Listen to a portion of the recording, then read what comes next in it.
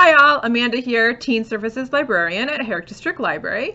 And today I am going to teach you how to make a character in my absolute most favorite game of all time, Dungeons and Dragons.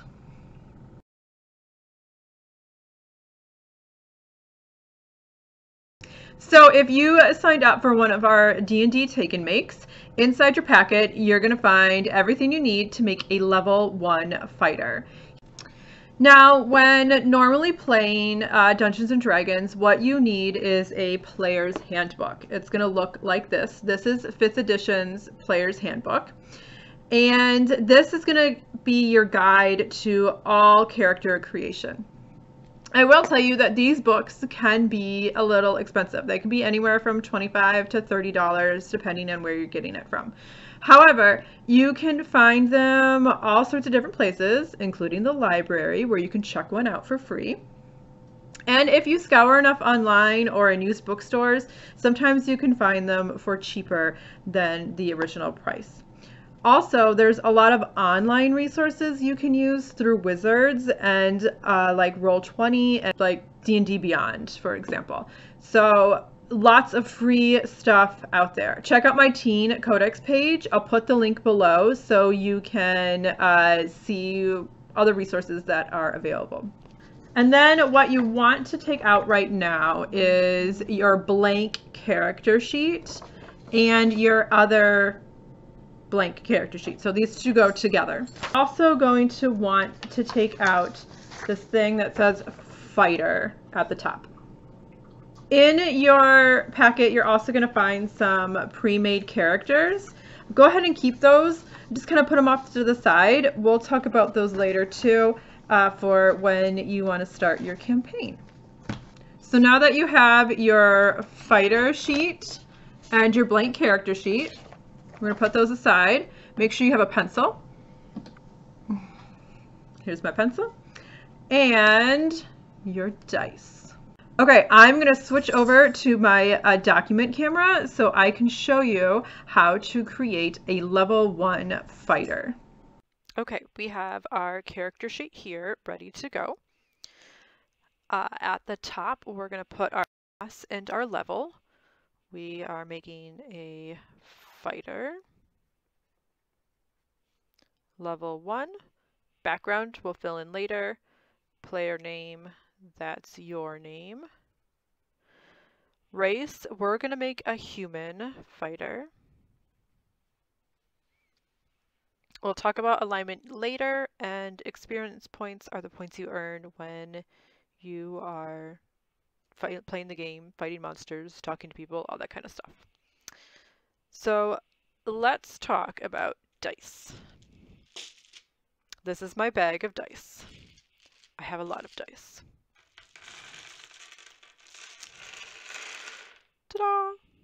In your take and make, you will have a small bag with seven dice in it.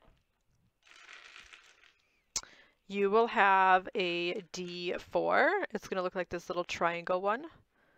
Whenever you roll a D4, whatever number is facing upwards that you can read, that's the roll that you've gotten. That's the number that you use. You will have a D6, which is just a regular side six-sided dice. You will have a D8, which looks like this diamond shape. You will have a D10, which looks like this one. The zero on a D10 is the number 10, by the way. You will have a percentile die. It's going to look like this one. So it's going to look exactly like your D10, but instead of a singular digit, it'll be multiple digits, and then when the 0, 0, that's 100. You're to have a D12, looks like this one. It's a 12-sided dice. And you're going to have the coveted D20. This is the one you are going to use the most often in the game. Let's brush these out of the way here. So the first thing we're going to look at is our human in our player's handbook. I also have this information up on the Teen Codex page, so it makes it really easy for you to find. We don't need a whole lot of the information from the human section on races, so that's why it's not included in your kit, but you can find it online on D&D Beyond and on that link on the Codex that I put up.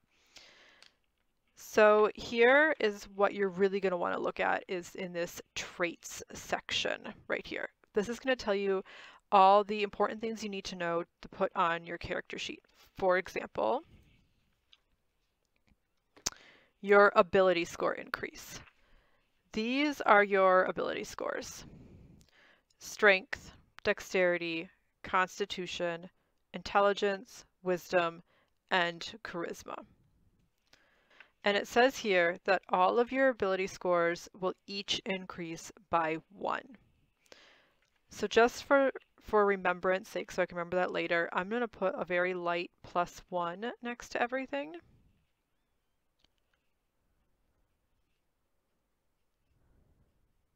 like so.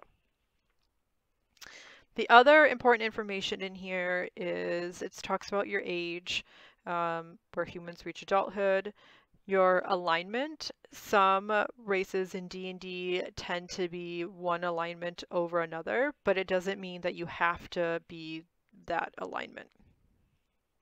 Your size will tell you what your build is.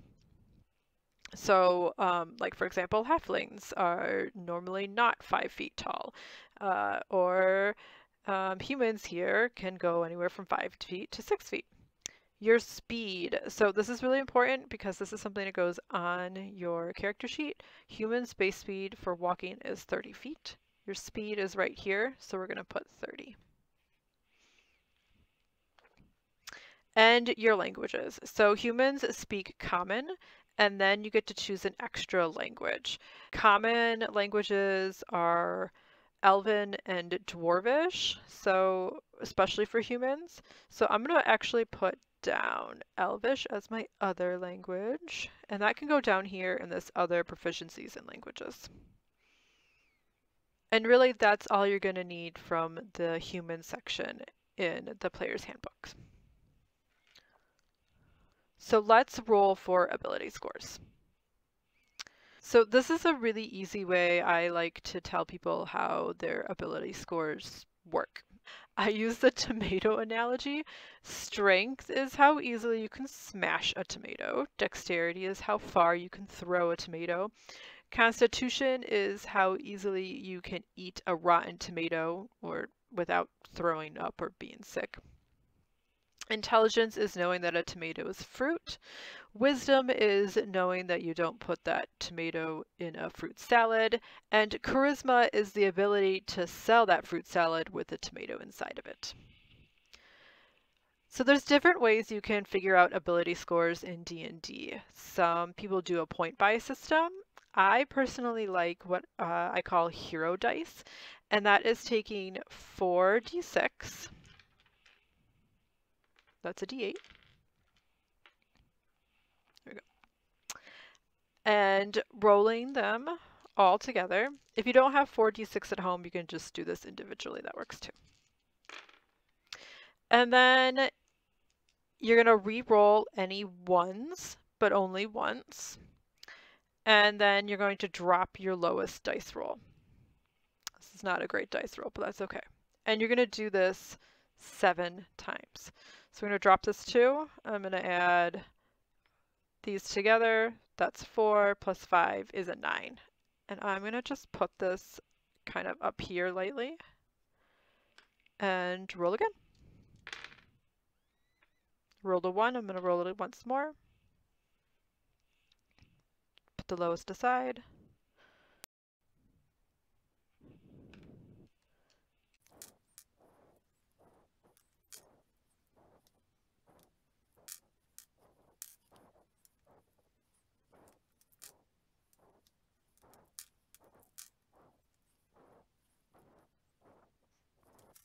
Okay, now that I have seven rolls, I'm going to eliminate my lowest, which is a 9.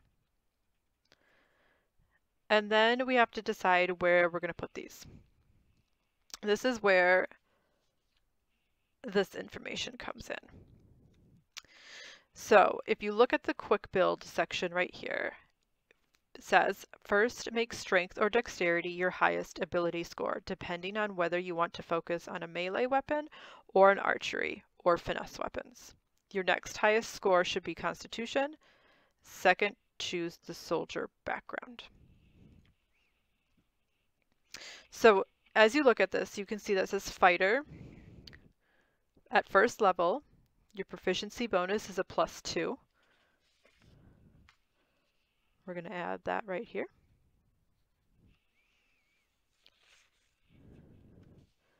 And it says you get a fighting style and second wind. If you turn your page, you look at fighting style. So you need to decide, are you going to be melee, which is close combat, or are you going to be uh, dexterity based, which is using bows. And you will note that you cannot take more than one fighting style at a time. So you have to decide right now which one you want to have. Uh, I like the idea of doing two weapon fighting uh, because I think it looks cooler. So what this says is when you engage in two weapon fighting, you can add your ability modifier to the damage of the second attack, which is pretty cool. So we're going to go with two weapon fighting, and that's going to be a melee fighter. So that means we're going to want strength to be our highest ability score.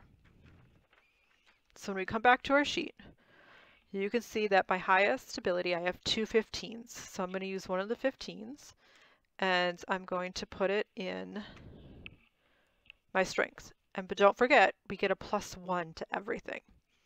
So some people put the number here in this section.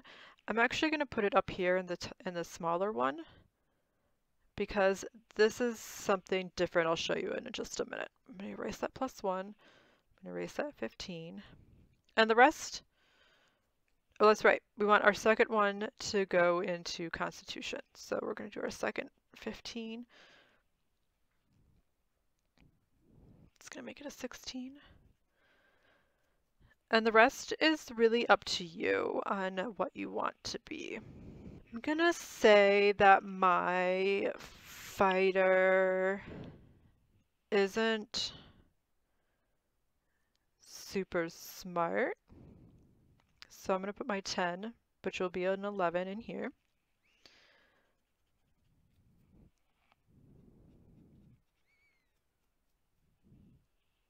Honestly though, like an 11 is average. It's an average intelligence. So saying that he's not super smart isn't even really true. 11 is very totally average. Um, but I am going to say that he's going to have a lot of wisdom. I'm going to put 15 in my wisdom because we use perception in this game a lot and I want my perception score. I want to be able to see things and find things and search for things more easily. And the other two, I'm going to put 14 in my dexterity and 13 in my charisma. So ability modifiers. The modifier is what you're going to use in your larger areas here, but you're going to use it for everything when you roll a, when you roll a score. So when you roll your dice and you add something to it, you're always going to use an ability modifier. I have the link up on the on the Teen Codex page, so you can see the modifiers there. But um, it goes up by one per two ability score numbers. So a 10 and 11 is a plus 0. A 12 and a 13 is a plus 1. A 14 and a 15 is a plus 2. And a 16, 17 is a plus 3. If you have a 18, 19, it's a plus 4. If you have a 20, it's a plus 5. We're going to go back to this. And we're going to look at our hit points really quick. So hit points at uh, our hit dice is a d10. That's going to go right here. 1d10. At first level, you get 10 plus your constitution modifier.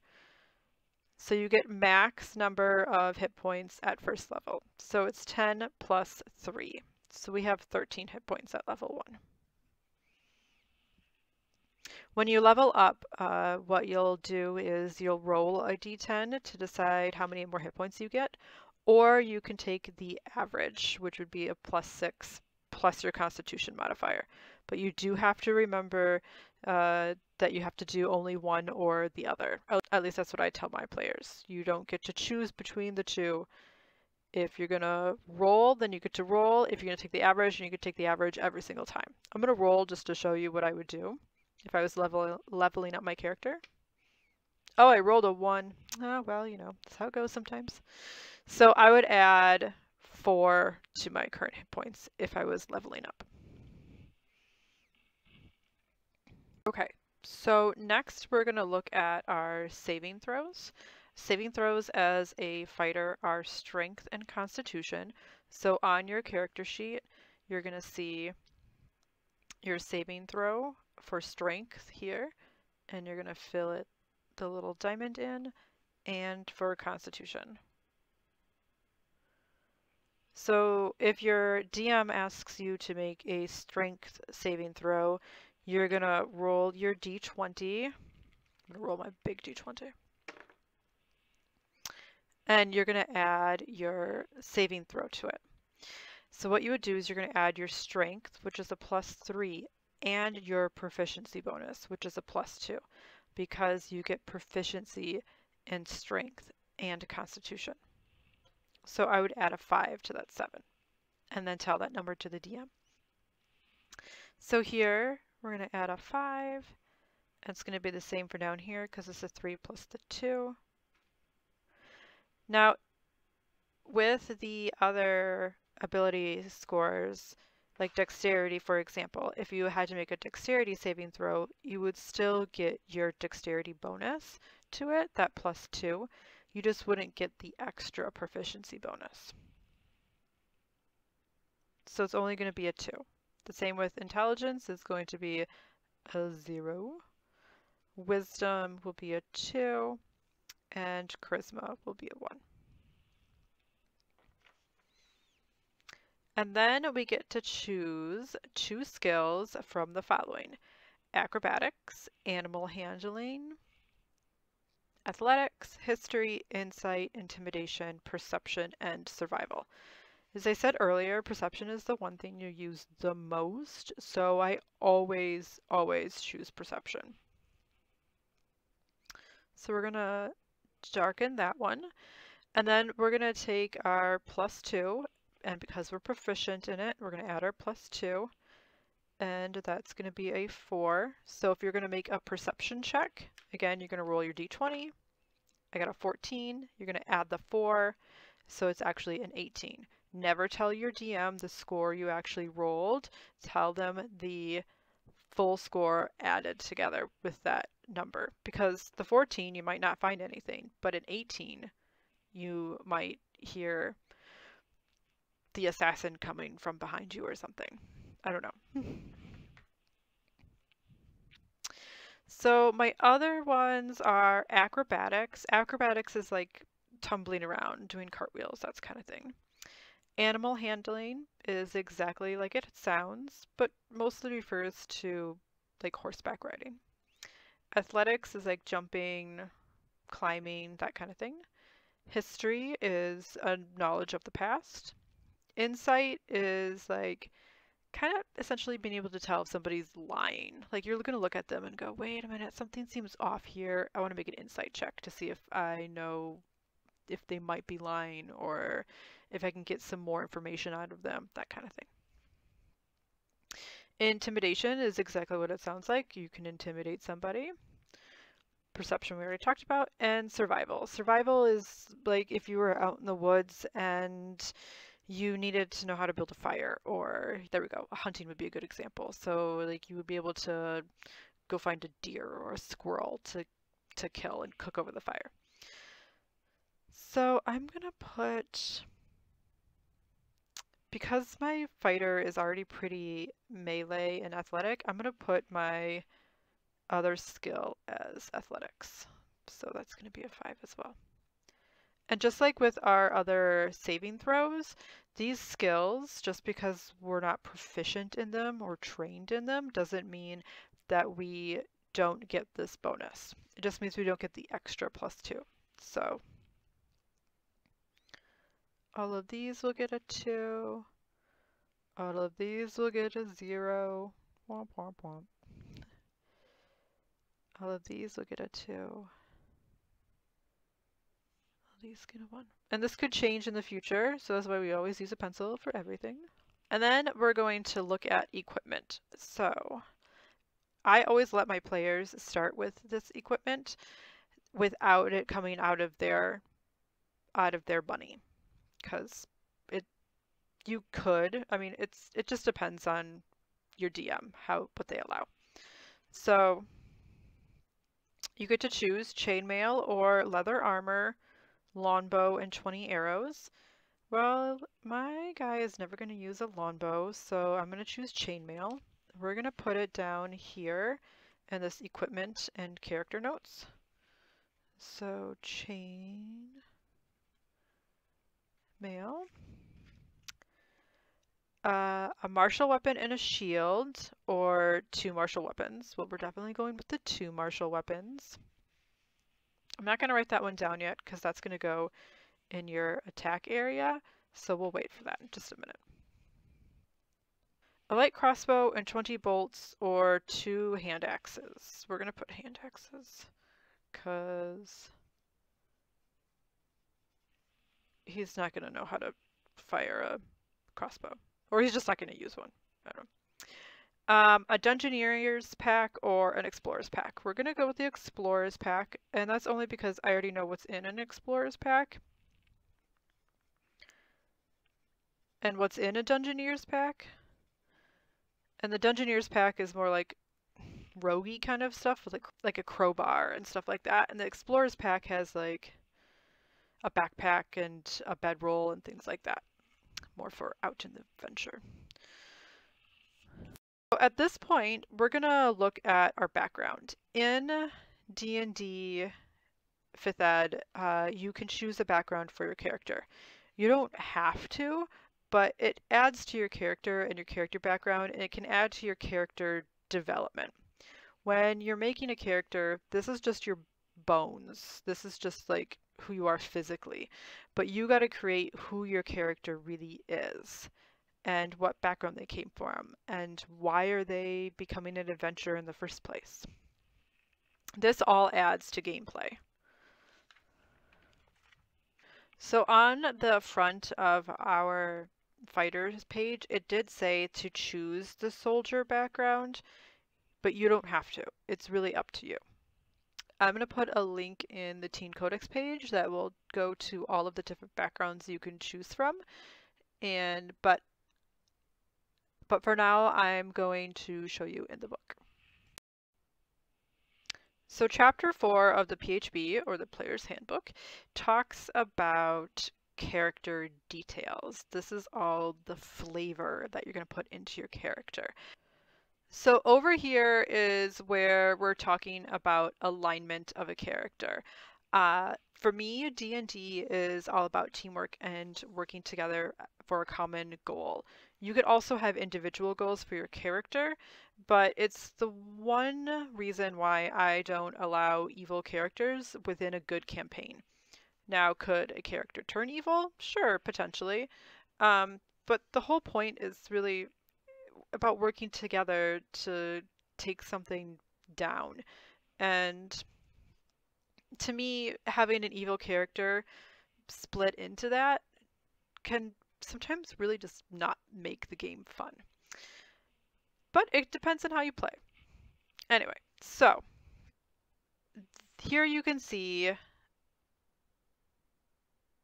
that alignment is a combination of two factors. One identifies morality, good, evil, or neutral, and the other describes attitudes towards society and order, so lawful, chaotic, or neutral. So the they kind of briefly summarize. A lot of people like to play chaotic good or chaotic neutral characters because they kind of just go on their whims um, and hold personal like freedoms to the better than over anything else. So think of like Han Solo. Han Solo is a classic chaotic neutral character. And you could say by the end of the Star Wars series that maybe he kind of becomes more of a chaotic good character. Uh, well, it depends on what movie you're asking about. But yeah, anyway. So uh, this will help you kind of choose your character alignment. And then this is where we get into backgrounds. Oh, a real quick note in inspiration. Inspiration is something that your DM will give you uh, to help boost something in the game if they feel like you've done something really cool. Some DMs use it, some don't. Your inspiration goes right there. So you can choose whatever background you want. There's tons of different backgrounds and each background can give your character a proficiency in different skills as well. Quick Build Fighter says we should use Soldier as a background, but I'm going to choose something different, I think.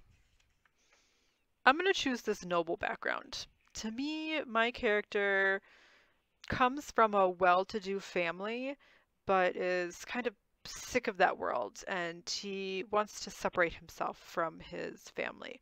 Maybe they were involved in some big scandal or something and he now wants to go out and make a new name for himself and his family. So, oh, there we go. The, well, that's what I wanted to show you. All right, I went ahead and went through all of my options for my noble background. Uh, one thing that was really cool is that you could have randomized it if you wanted to with a dice roll. So you could have just rolled a die uh, depending on which one it was in each category to choose your traits, your ideals, your bonds, your flaws, all that kind of good stuff. So I've gone ahead and did that. And then my video messed up. So we're going to talk equipment and you're going to see I already have things written in, but we're going to go over it. The first thing you're going to want to do for equipment is figure out your money. So for a fighter, to figure out your money, you're going to roll 5d4 and then you're going to times it by 10. So remember that your D4 looks like that little triangle.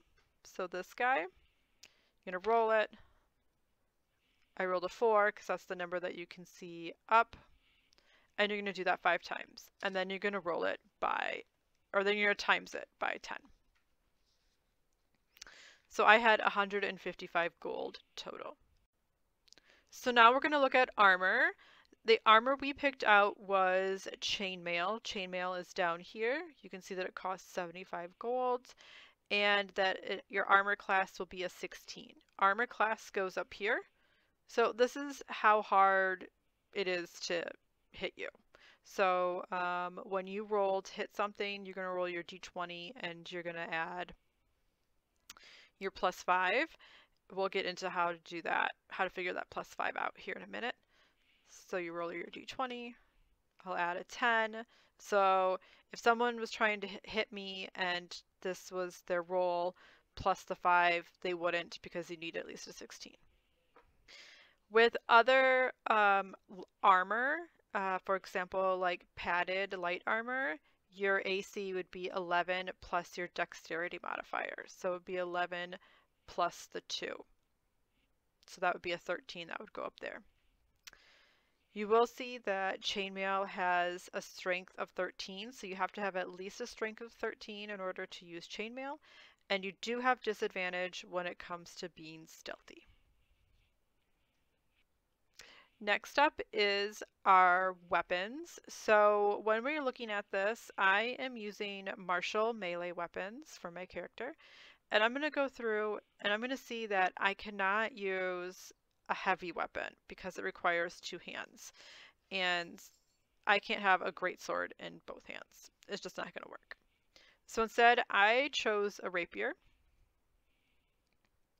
It does 1d8 piercing damage and it is a finesse weapon. So it, what that means is that I could use my dexterity modifier instead of my strength modifier for my attack and damage.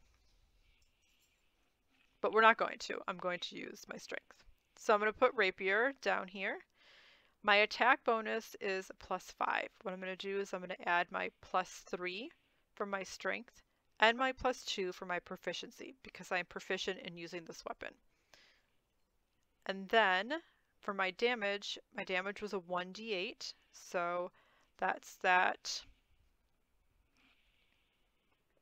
diamond looking one plus my strength damage with it, so plus 3. So if I were to try to roll to hit something, I'm going to roll my d10.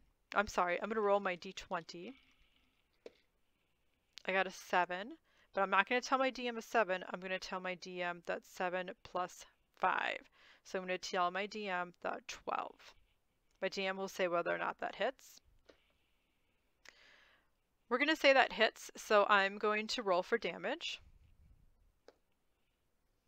And I get a 5. But Remember, we're going to add that plus 3, so we got an 8. So I'm going to do 8 damage. And then because I use two weapons, I get to go again with a 6 plus a 5, and that's an 11. We'll say that one doesn't hit, so I don't get to do the damage. And there we go. One more thing I wanted to show you was this passive wisdom check. So this is something the DM will use if you're supposed to maybe see something that's hiding in the dark or you can't tell where it's at. In order to figure out your passive wisdom, all it is is 10 plus your modifier that normally applies to the check. For example, uh, if a first level character has a wisdom of 15, which hey, we do, um, and is proficient in perception, which we are, you're going to add the 10 plus the 2 plus the next 2 because you're proficient. So your passive perception is a 14. Let's say I wasn't proficient in perception, and then it would be a 10 plus the 2. So it would be a 12 instead. The last thing you're going to do is this back page. So uh, I've already named my character. I've named him Maverick. And now I get to describe what he looks like who is this guy? I've described, you know, physically who he is with these numbers and things that we have on our character sheet. And I've got some of the ideals of who he is as a person, but what does he look like? Um, is he muscular? Is he scrawny? Is he short? Is he tall? What is his backstory? Why is he out adventuring? What makes him him? What makes him tick? What makes him a fleshed out person. And this is where it comes into the fun part of playing D&D because uh, you get to really get inside somebody's head. And it also can be like the tricky part of D&D too because you've never been inside this character's head before. You got to figure out all the ins and outs of them and then you got to pretend to be them. Um, so it's really cool in that way too. And that's it. You've created your first D&D character. Congratulations. Uh, so again, please put character backgrounds into your storyline for your character. It's going to make the game so much more fun for you and other players, and you get to really play your character out and how you want them to be. I hope your first character turns out awesome and you create an amazing backstory and have lots of fun.